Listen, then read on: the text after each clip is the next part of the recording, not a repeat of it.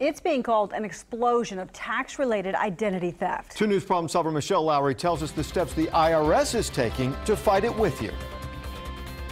It happened to more than 600,000 people last year. Here's how it goes down. A thief gets your social security number and files a false tax return and collects the refund. It will easily take months for you to unravel the mess. This year, the IRS has doubled the number of employees attacking the problem. Dozens of new identity theft filters are in place in its automated systems. You can help yourself by never carrying your social security card with you and don't give the number out just because you're asked. If you know a credit report is required, then the social would be info that company needs. Otherwise, most legitimate businesses will accept a driver's license number instead of your social. Michelle Lowry, 2 News works for you.